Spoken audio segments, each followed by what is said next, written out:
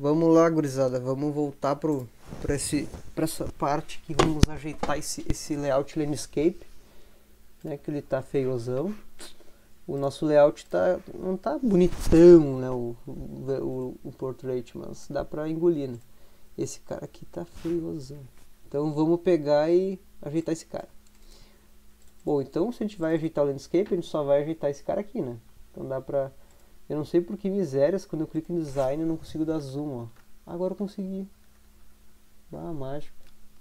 Que bom, aí vai dar pra mexer tranquilamente. Bom, esse cara aqui, ó, ele tá em linear layout, né?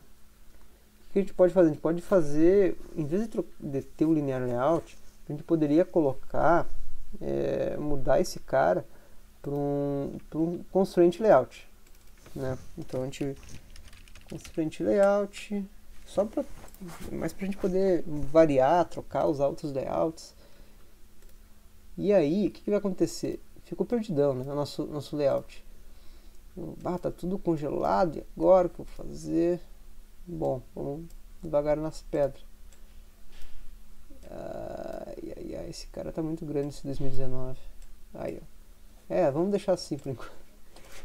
Então, a primeira preocupação quando a gente usa constraint layout, eu, a gente vai posicionar os elementos de acordo com os vizinhos, né? Os caras que estão do lado, então é importante colocar o ID, o ID que a gente entenda, né?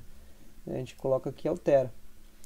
Bom, eu vou puxar e colocar aqui pro cantinho esse cara aqui, no nosso nossa imagem, para meio que manter o mesmo comportamento de antes, ele tá no canto.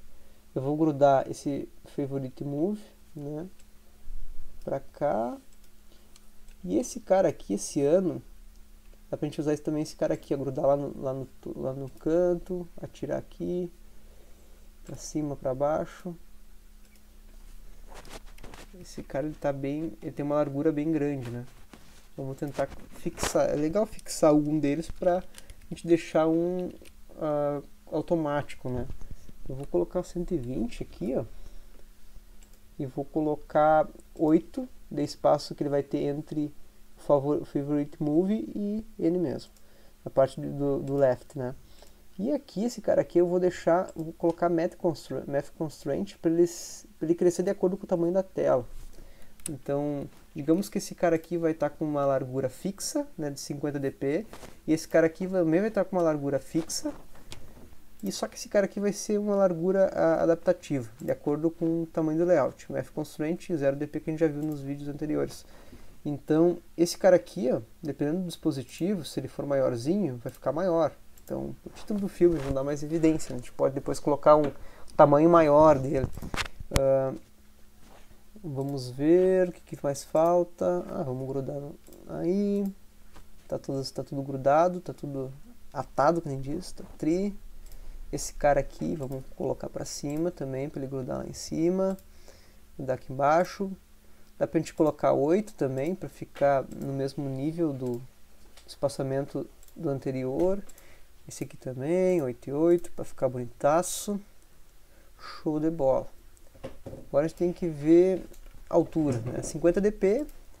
Esse cara aqui, uma ideia, vou botar Knife Constraint também, para ele ocupar o máximo possível dessa altura.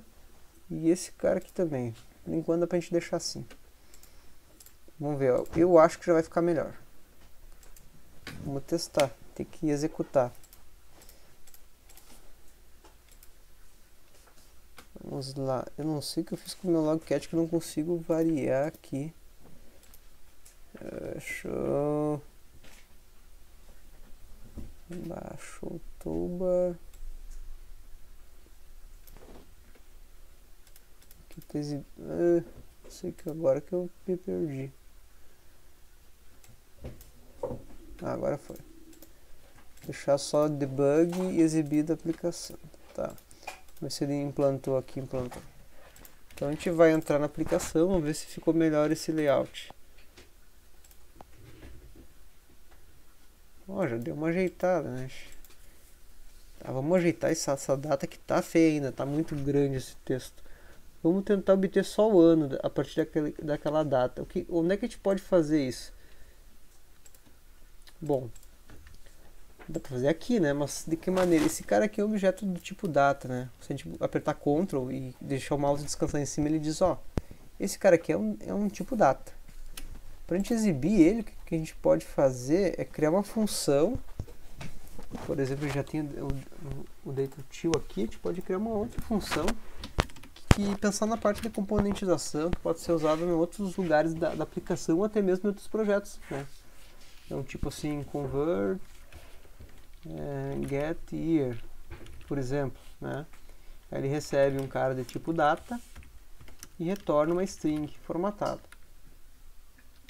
Né? Return, calendar.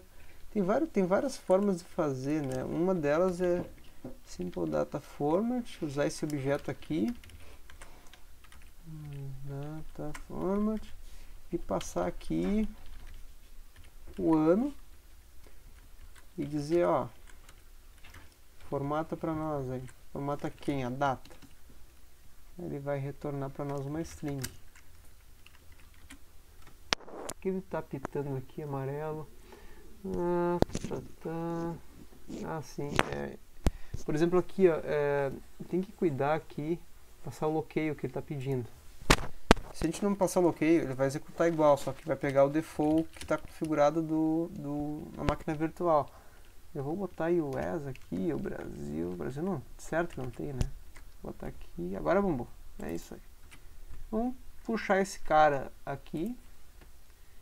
Como é que a gente vai chamar? Ah, vamos pegar o tio. Getir. Aí. Show. Vamos executar, vamos ver o que vai acontecer. Ah, tem muito log assim, se tu colocar, por exemplo, aqui, ó, no filters, aparece tudo, assim, coisa que o cara nem sonha que tem. O Android dá uns log louco aqui, warnings, error. Uma pessoa assim que não conhece acha, pá, meu, tá tudo dando pau assim na aplicação. Não, mas aqui, calma lá, né? Tem... Isso aqui é, é log, né? Nem tudo é para se atacar, se preocupar. E, ok, olha só. Apareceu 2002, é isso aí. Bom, aí dá pra gente dar umas, umas ajeitadas no sentido de, de centralizar esse cara, dar uns tapas, né? Que são legais de fazer, né? Rapidão, ver nosso tempo. Ah, tamo grandão. Chegar aqui. Dá pra usar a interface gráfica também para fazer esse tipo de coisa, por exemplo não é tão podre essa interface do Android aqui. Dá pra te fazer um monte de coisa, pelo Gravity, Text Align, aí ó, olha só que legal, tudo pela interface gráfica. Centro, uh, que, que é isso aqui?